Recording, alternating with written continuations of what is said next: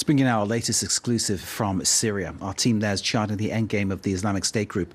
Part of that concerns the fate of the people who came from abroad to join the so called jihad. Our reporters have been speaking to French citizens who became caught up in the murderous regime. Their regrets perhaps now showing their initial decision was, at best, naive. Civilians continue to pour out of the Islamic State's collapsing caliphate. They are fleeing the fighting, the bombing, and the hunger. Amongst these women, a number of jihadi brides who traveled from all over the world to live under the Sharia.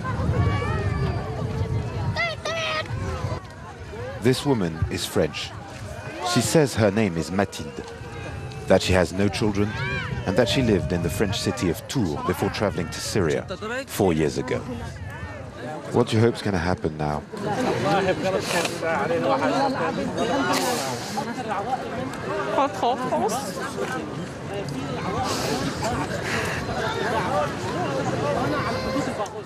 Are you sad that it's over?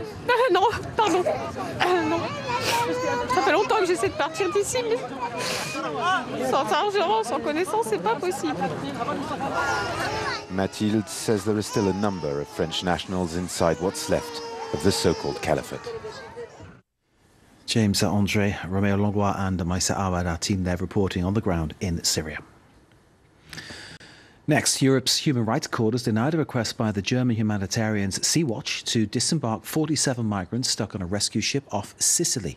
The European Court of Human Rights in Strasbourg, however, requested in its decision that Italy take all necessary measures as soon as possible to provide those migrants with adequate medical care, food, water, and basic supplies.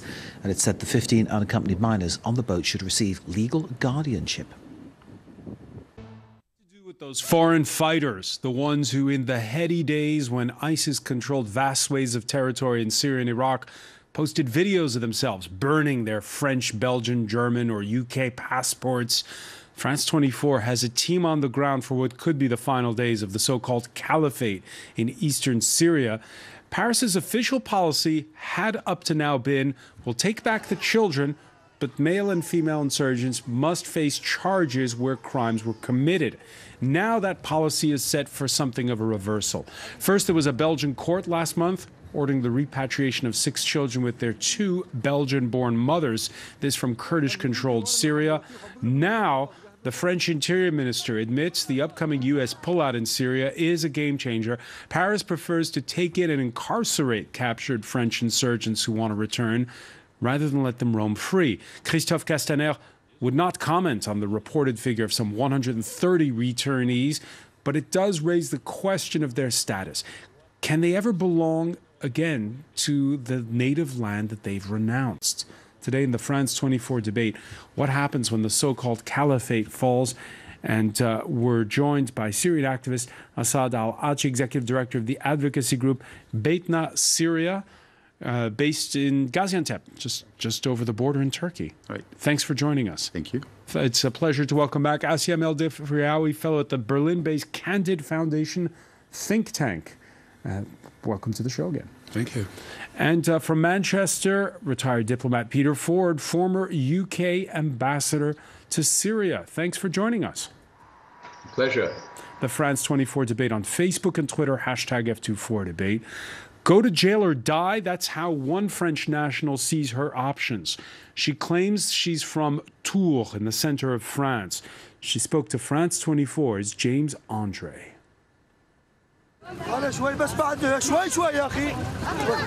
Civilians continue to pour out of the Islamic State's collapsing caliphate. They are fleeing the fighting, the bombing, and the hunger.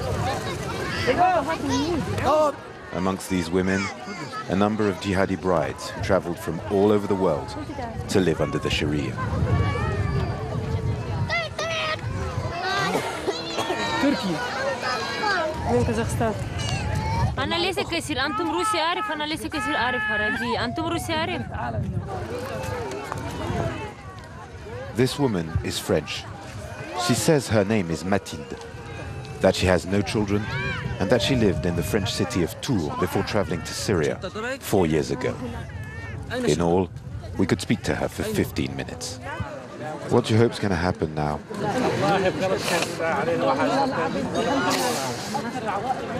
Rentre en France.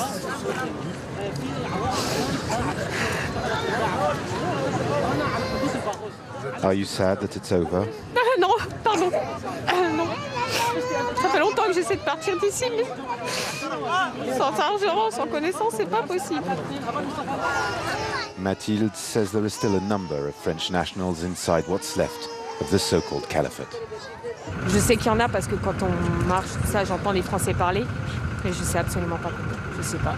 C'est des gens qui, qui veulent euh, qui veulent pas aller en prison, donc euh, c'est soit vous partez et vous êtes à peu près sûr de finir en prison, soit vous restez et vous êtes à peu près sûr de mourir. Donc il y en a qui ont fait le choix. Moi, j'ai fait le choix d'aller en prison, il y en a qui ont fait le choix de mourir. Death over prison. A choice she says her husband made. An Egyptian national she married in Syria. Il travaille dans le médical. Il est dans les hôpitaux, mon. C'est pas un combattant. Why did he decide to stay inside if he's not a fighter? Parce qu'il sait très bien qu'il va finir en prison et il veut pas aller en prison. On en a parlé plusieurs fois longuement et il m'a dit moi je peux pas aller en prison. Mathilde says she was disappointed with her life in the caliphate, but never explicitly condemns ISIS crimes or ideology. En France j'étais pas libre parce que j'étais musulmane et je pouvais pas pratiquer comme je voulais. Dans l'état islamique, on peut pratiquer mais il faut pratiquer comme eux. Vous voyez ce que je veux dire? Et si j'avais su, je serais pas je serais jamais venue ici. Je savais pas que c'était comme ça. Et je pense qu'il y a beaucoup de personnes qui savaient pas que c'était comme ça. Je dis pas que c'est c'est horrible, on m'a rien fait là-bas. hein. On m'a pas touché, on m'a pas torturé, on m'a pas frappé. On, me traite très bien. Mais c'est pas c'est pas c'est pas ce que j'imagine. But when you came, there were already the videos, the executions, the terrorist attacks. Non, je suis bien avant. Je suis avant les attentats. Do you regret coming here? How do you feel about all this today? Fatiguée. Très fatiguée. Mathilde explains her first husband persuaded her to go to Syria, but stayed in France. Il est jamais venu ici, mais c'est lui qui m'a envoyé ici. Du coup, ils m'ont jugé en même temps. Sans que je sois sur le territoire français, ils m'ont jugé. Moi, je suis déjà jugée et condamnée. Who is your husband?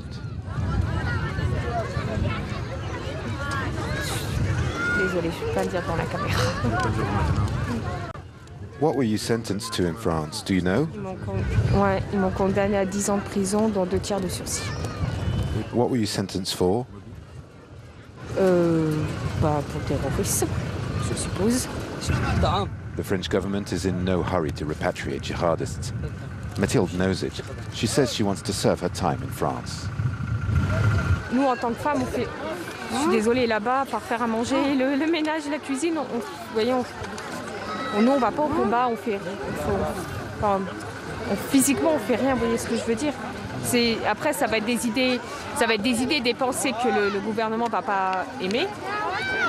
Mais on- nous, celles qui veulent retourner en France, c'est pas pour commettre des attentats, c'est pas pour aller tuer euh, je sais pas qui dans un supermarché. Nous, si on veut rentrer, c'est pour essayer de retrouver une vie normale. The Kurdish Authority is overwhelmed by this continuous influx of foreign jihadists.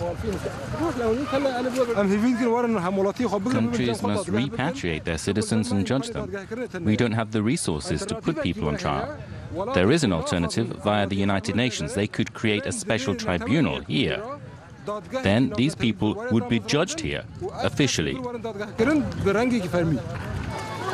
In France, jihadi brides are considered a security threat, and politicians fear public backlash over their return. To the Kurds, these women and their children are both a problem and a major bargaining chip on the international scene. And that uh, report by James Andre. Um, Asim El w- what are the chances, in a typical case, for someone like that woman of being rehabilitated, if you were, of ever getting a normal life again? We're not doing a guessing game here. You know, I mean, no, it's imp- I know it's I mean, impossible like, you know, to tell like, with know, I mean, like, but, um, what, what, what how know, much of a security risk? Okay, let me start differently. You know, I mean, um, there's no alternative to um, trying to rehabilitate those people um, in programs which have so far called be de-radicalization programs.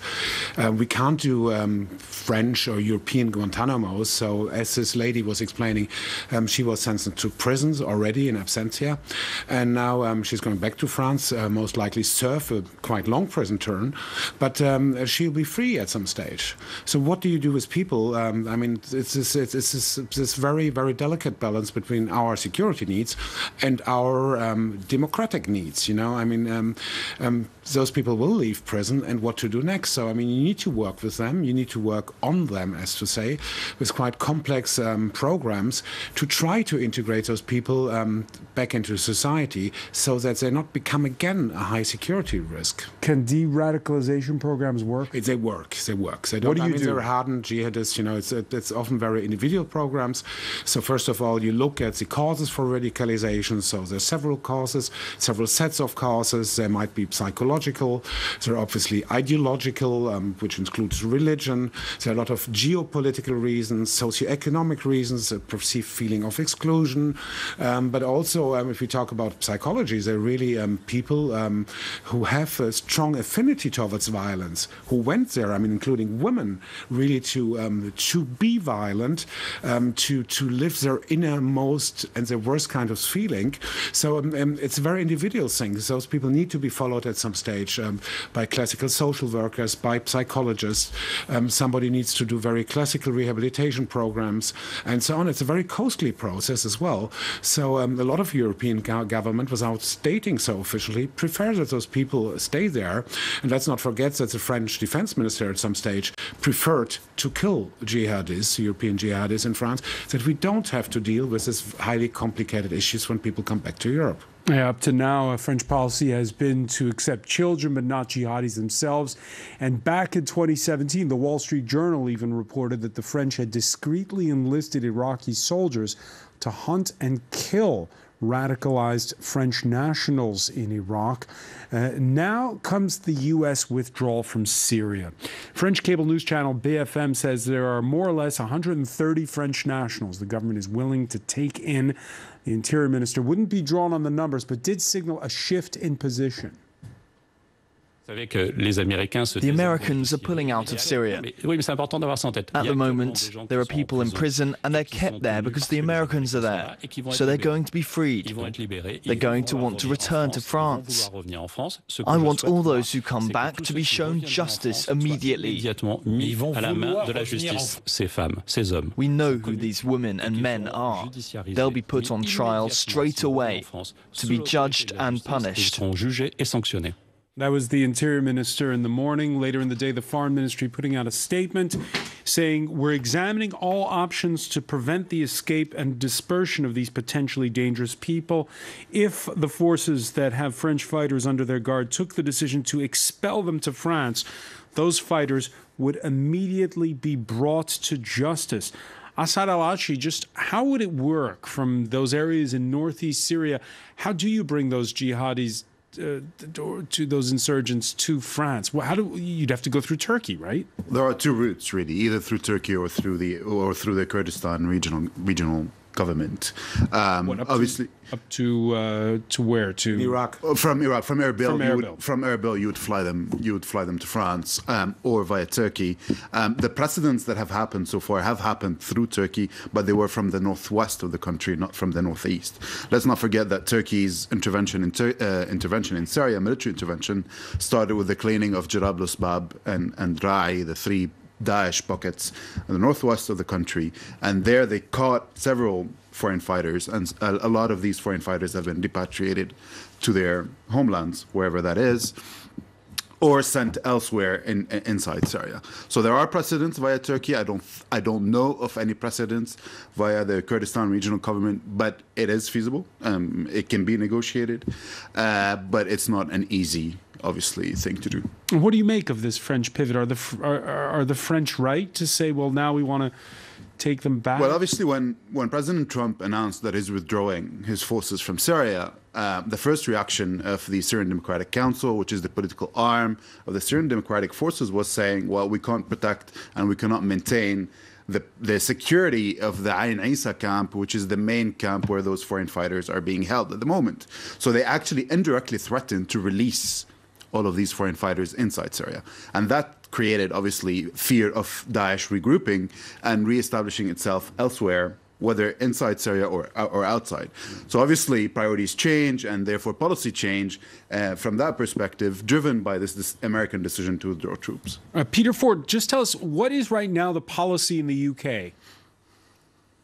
Uh, for the moment, at least, uh, the UK is uh, resisting by all methods possible uh, the return of jihadis, making a, a number of excuses um, there seems to be a, a, firm policy not to go down the path on which France is now embarked. And is that a good or a bad thing?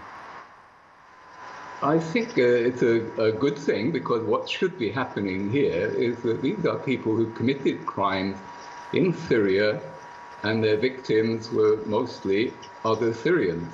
They should be handed over for justice to the Syrian administration which is now gradually re-extending its control over the areas where these jihadis are now being captured.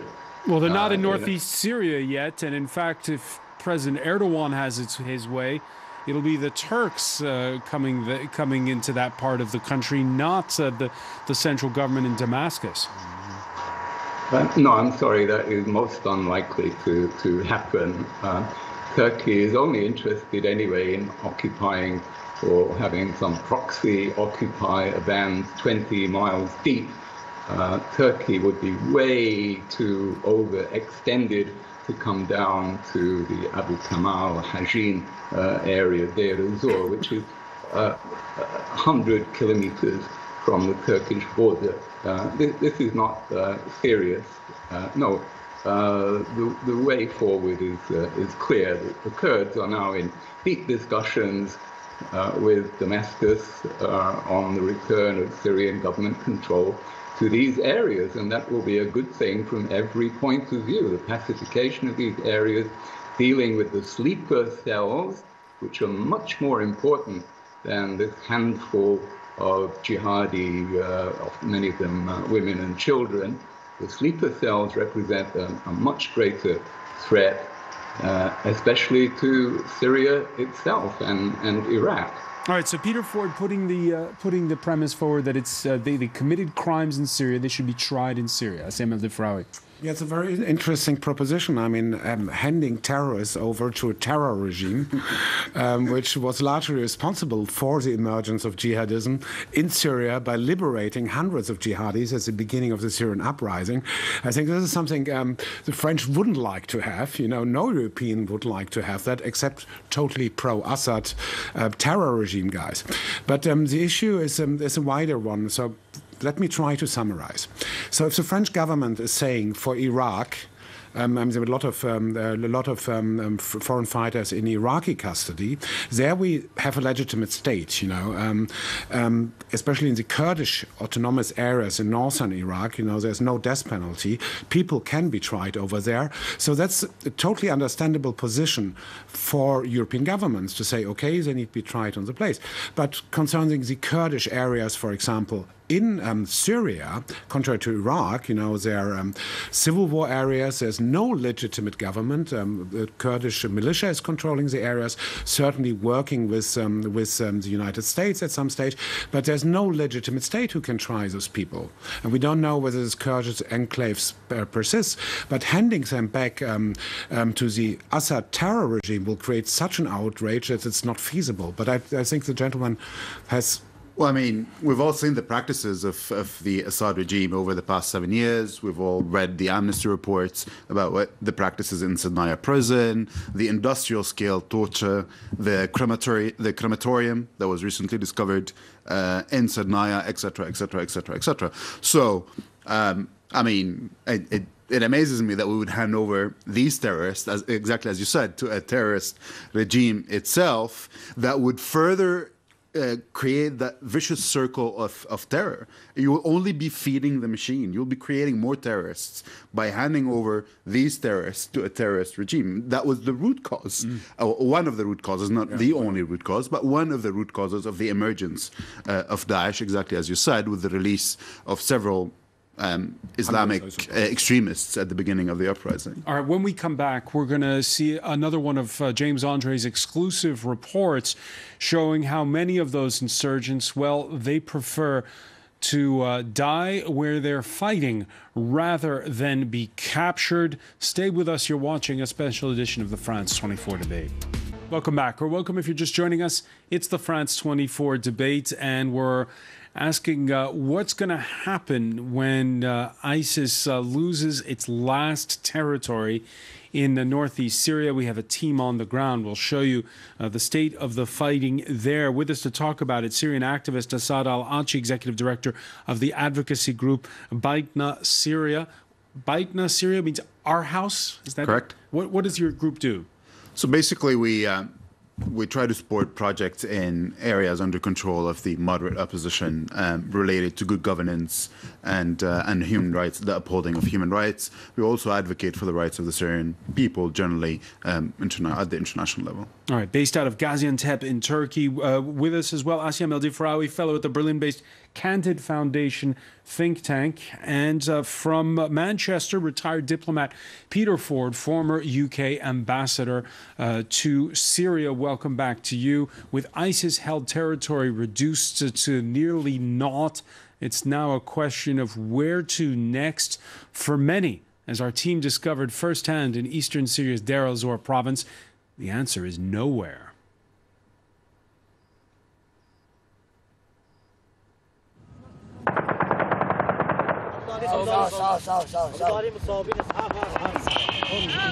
Despite heavy losses, the SDF, the Syrian Democratic Forces, are tightening the noose around what is left of the Islamic State group's so-called caliphate.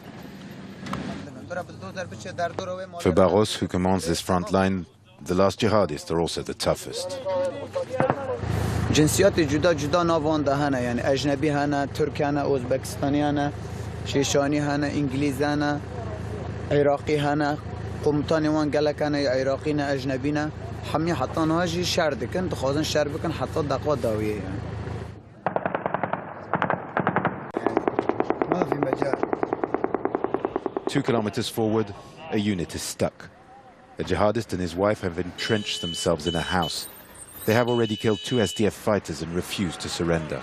والداعشي هو مرته لحتى المعركة يا مو استشهد ابو ليلى يا اخي روني ابو ليلى الثاني استشهد هسه عمو شنا ودينا شرفك والله A night of fighting begins.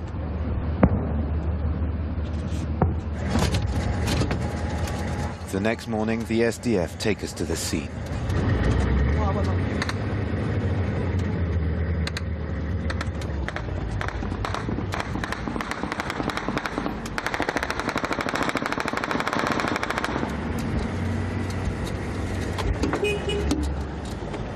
وطن بسقنا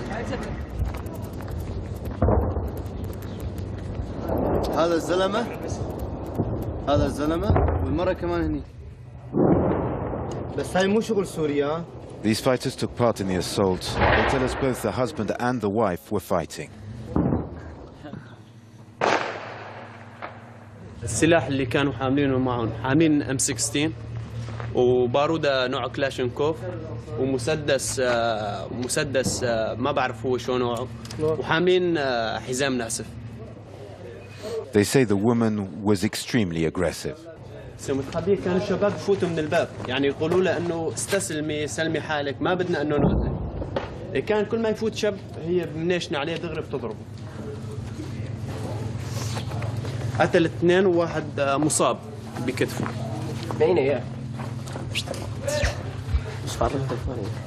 هو متكسر رجلينا. كانت تزحف زحف يعني بدها تطلع تفجر حالها. لما عنده متكسرات رجليها زحفت من هون زحفت طلعت لفوق. ولا طلعت هيك هي إيدها على الحزام يعني بدها تفجر حالها. دغري الشباب ضربوها. We were unable to confirm the IS militants' nationality. القيادة إجت هون والرفاق إجوا لقوا بطاقات بجيوبهم قالوا على أحرى فرنسية يعني اخذوها وراحوا قد ما نعرف عاد فرنسيه مو فرنسيه بس هي جنسيه اجنبيه يعني ما هي ف... ما هي عربيه We asked commanders to confirm, but they have yet to reply. The man's shoes are from a popular French brand, but they're available in many countries.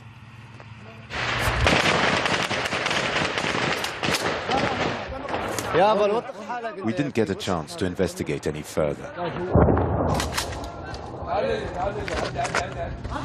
تعال اجي تعال اجي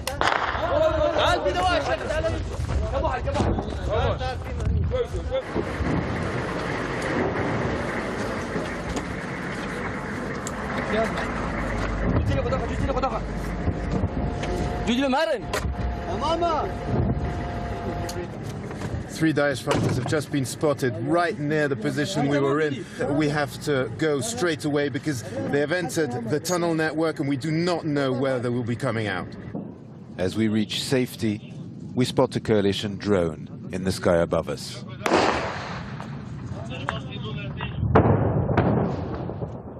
In the distance, bombers pound the Islamic State's last stronghold.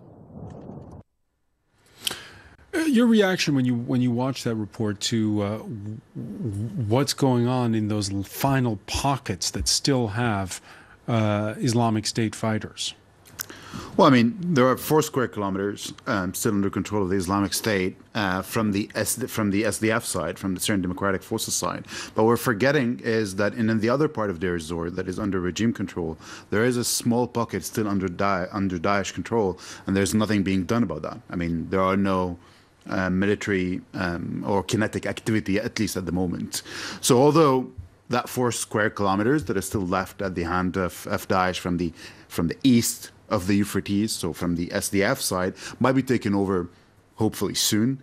The Daesh threat is not over. We still have that pocket that is still in regime held Deir Zor, and of, obviously we still have the fighters that are still there. Mm-hmm. And and what we don't know as well is how the Syrian regime is dealing with the fighters that it is catching by clearing uh, territory from from Daesh. Where are they? What are they doing to them?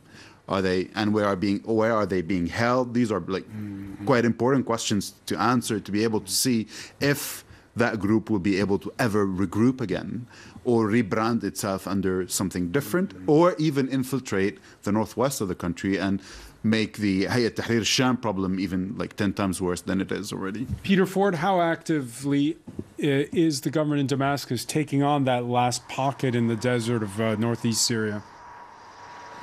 Extremely. Look at the track record of Syria with their uh, Russian and Iranian allies. They have cleared uh, ISIS from huge, huge areas of Syria, much bigger than the area uh, cleared by the coalition uh, forces, and more effectively, and taking less time to do it. I'm afraid your other speaker shows his uh, bias by his comments uh, but what is uh, happening is that many of the uh, Daesh fighters have gone underground in all over uh, Syria, and it's the government of Syria that will have to bear the brunt. Now, we in, in the West, France, Britain, are very self-centered, worrying about 100, 200 of these jihadis who might be coming in our direction. The government of Syria has to deal with uh, possibly tens of thousands uh, who are in sleeper cells. Uh, your other guests uh, seem very tender towards these jihadis, wondering if they will be given proper justice in Syria. Believe me, they will be dealt with appropriately. Asia Difari? Yeah, I'm a little shocked. I think it's an I don't. Um, I'll use the words. I think um, what the gentleman just said is a disgrace for a former British diplomat, lobbying for a terror regime who was one of the root causes of the problem. Obviously, people will go underground. So that's a huge problem for Iraq as well. Um, there are people roaming in the desert. Um, apparently, like Western intelligence knows about huge stacks of money and weapons in the desert, which is um, constitutes the largest, largest part um, of um, Iraq and parts of Syria. Because this morning the French Interior Minister said, We know where all our nationals are. Is he telling the truth when he says that? The ones that are the, the, the French jihadis? They might, most of them might be accounted for. I mean, there has been intelligence before. I mean, French special forces have been active not only in identifying jihadist terrorists, they have also actively trying to kill major French jihadi leaders in Iraq and Syria. But I would like to come to back to something else which was just stated. Iran, Russia, and Syria, this fantastic coalition, um, did much more to defeat jihadism than everybody else. Or the Iraqis or the Americans or the French, which is totally untrue, at least what is what um, um, happened in the beginning of the Syrian uprising. All these groups, all these nations fought the liberal elements of Syrian oppositions and made Daesh strong. There was, in fact, a de facto coalition between the Syrian government and the jihadis. Let's both fight um, the liberal, progressive, and somehow democratic opposition in Syria. Only when those were defeated, which was a real threat for the Assad regime, yeah, no. progressive Syrians, then Syria turned on fighting the jihadis. And and the uh, um, also getting it from another quarter is Turkey at a speech delivered Monday in Istanbul. It was clear that Turkey's president had not watched France 24's uh, reporting on the SDF fighting ISIS. YPG, PYD, Groups of IS terrorists are being armed and trained by YPG terrorists against our country. I hope in the coming days we will defeat and sweep away those remaining IS fighters who were deliberately left in the region and who were armed against our country. So ISIS is being funded by the and tra and trained, armed and trained by the YPG, says says Recep Tayyip Erdogan. Your, your reaction to that when we saw clearly the opposite in that report. Well, I'm not going to get into the intricacies of Turkish uh, policy towards towards uh, the Kurds in general, but of course, it's widely known and widely acknowledged that the PYD or the YPG, their armed their armed wing, is linked directly or indirectly to the PKK, which is considered a terrorist organization not only by Turkey but most most of the Western world. So there are links to the PKK that can be confirmed. Now, the links to Daesh is probably a bit of an extrapolation, uh, to say the least. Uh, and uh, of course, the um, the Syrian Democratic Forces have been um, very um, efficient now, those in, in, the, in their Syrian fight. Democratic of, Forces, just to remind our viewers, it's right. a coalition, right? It, it is a coalition of the YPG. Uh, the backbone of the Syrian Democratic Forces is made of the YPG, which is the military arm of the PYD, which is a Kurdish political party um, established in the northeast of the country. Mm. Uh, but also it includes Arab Arab forces, um, including um, local uh, forces from Raqqa and from Deir So, so our, it is a coalition. And our own Wassim Nasr, who follows uh, what's what's being said about this, says that um, some of the Arabs fighting they don't want this protracted for too long because uh, the the the, fi the, fighting to go on too long in in northeast Syria. At what point does the SDF start to well, perhaps uh, come well, undone? Obviously, that's the biggest risk at the moment. Is um, for this, especially with the withdrawal of the American forces, is, is for this. Uh, coalition of, of Arab forces and Kurdish forces to fall apart, not only even more dangerously, uh, more dangerously to start fighting uh, it's uh, the, for them to start fighting each other. We have precedents. For example, I'll give a, a very quick example of Liwa Thawar Raqqa, which is was part of and still is part of the Syrian Democratic Forces. They have had skirmishes with the YPG before, uh, and that might degenerate in, in case there isn't a, a, a certain mission that unites them. At the moment, I guess the fight against Daesh is what is keeping uh, the ranks for everyone. But there is a big risk once this fight is over mm-hmm. and um, American and, troops and withdraw for them to turn against each other. The the the, um, the, um, the Arabs. Um, which are now allied with the Kurds, won't accept prolonged um, exactly. Kurdish um, Kurdish control about basically a majority Arab cities. So there's a huge potential so for going tension, forward. And Peter Ford mentioned he's correct that there have been talks in Damascus between uh, the, the, government representatives and, and the different clans uh, in the last few days. Going forward, what's the objective for the Kurds? What's the objective for the Arabs? No, the, the Kurds um, definitely want to preserve some autonomy um, in terms of Kurdish heartlands in Syria, and therefore try to find arrangements with um, the dictatorship in Damascus. The Arabs, on the other hand, it's, it's more difficult to see how they find arrangements with Damascus, because I mean, Sunni Arabs mainly started this large-scale uh, rebellions against Assad, so it's very, very delicate. So the Arabs might not only get upset with um, with um, with the Kurds at some stage, um, but also with um, the Western support, which initially propped them up and saying, now, okay, now we leave you to Assad.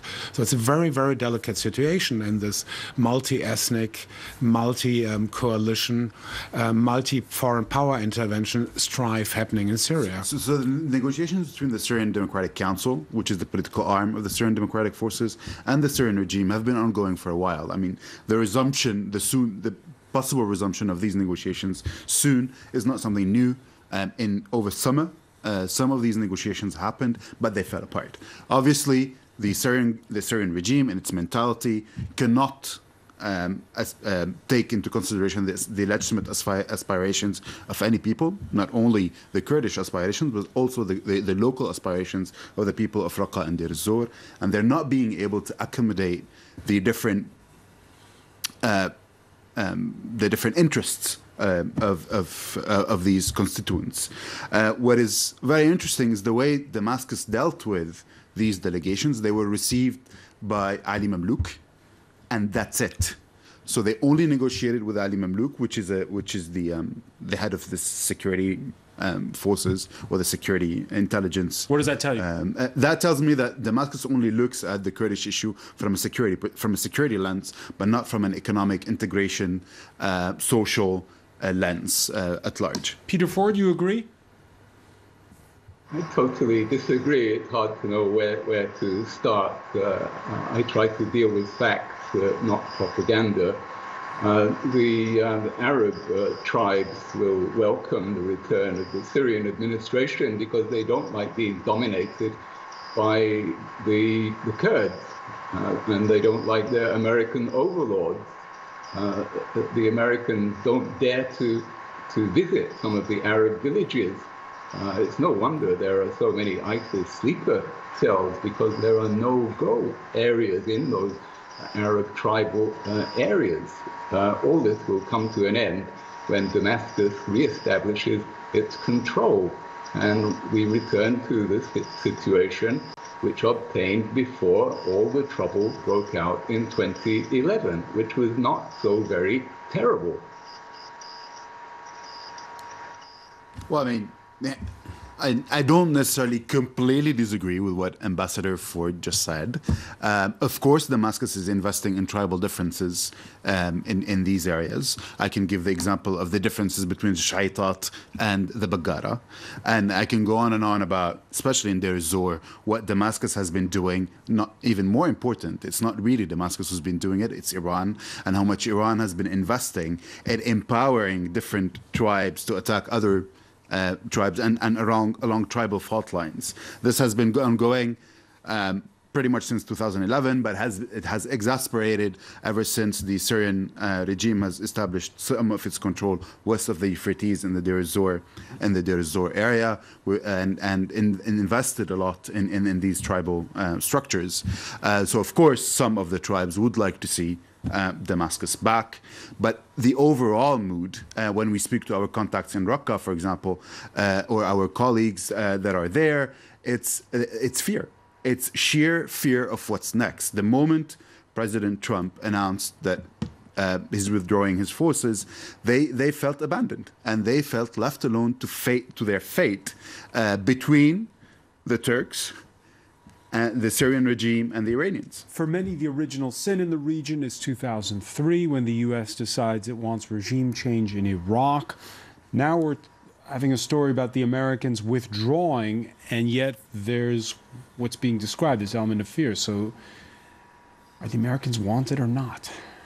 Is there an original sin? Um, yeah, there is an original sin. Um, it's not so much um, invading Iraq and um, um, getting rid of Saddam Hussein. It's the whole aftermath. You know, also the same aftermath we already had in Afghanistan when the Soviets were defeated. No investment, no real presence in terms of development, uh, no real um, engagement in democratic processes, no after-war plan, and that's what's going to happen next. You know, again and, and again, ISIS is defeated and the Western sin again will be okay. Now let's um, so leave those countries alone. I mean, uh, Trump also wants to pull out of Afghanistan, and we'll have these ungovernable states. I mean, um, where um, where um, not only total corruption reigns, you know, also another factor which encourages jihadism. And do Europeans, do jihad Europeans get it? Because we saw the, what happened when the Americans empowered these Arab tribes uh, in Iraq. This was very they, helpful, but then they stopped. Then they then they stopped, and no, we saw I mean, the results of that. Let's, let's, Have Europeans learned that lesson? Let's, do you think they'll be let's more face it. Um, there's also with the European um, beer a large part of the blame, a brunt of the blame. Um, Europe, Europe is a um, toothless tiger.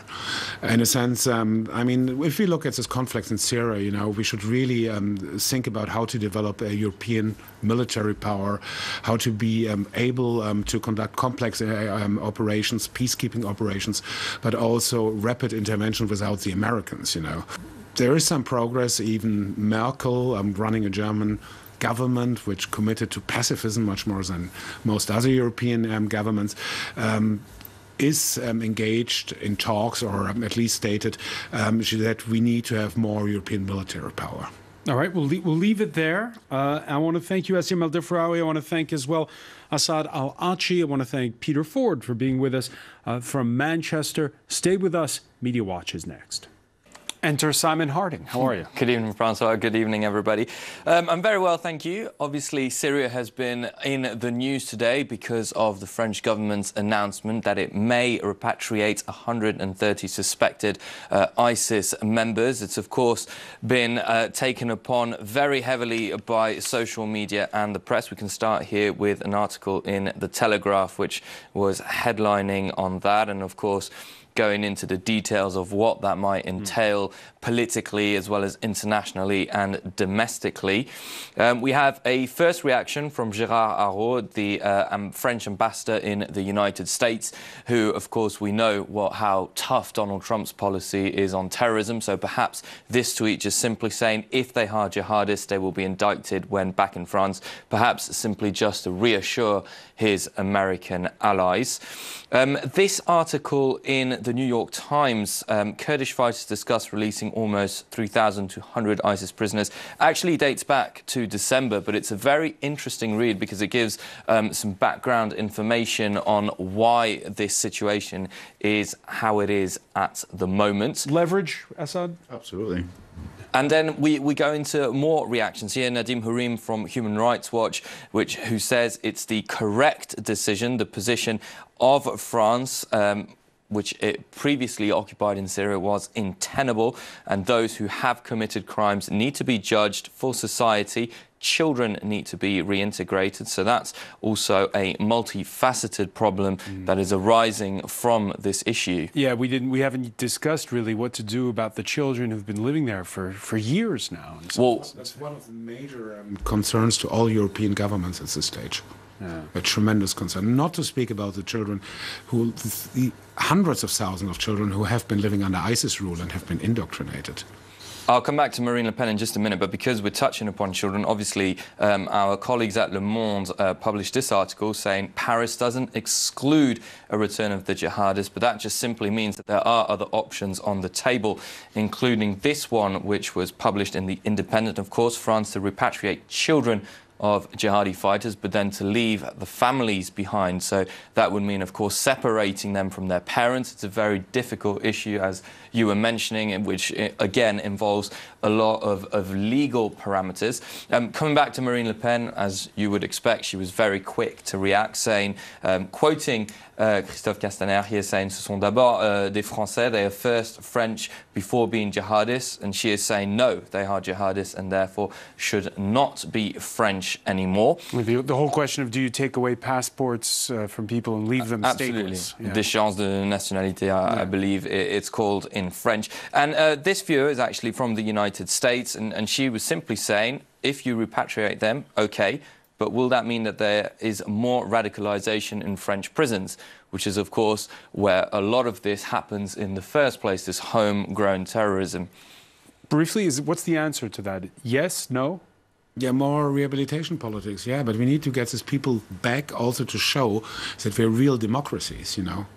Um, this is a very powerful argument against jihadis. We have a rule of law, we judge people, we don't kill people which is um, a very, very powerful counter narrative to all this jihadi propaganda. Not but only, it's a huge challenge. It's not, huge not challenge. only to jihadi propaganda, but to um, dictatorship yeah. propaganda like the, the, the Assad propaganda as well.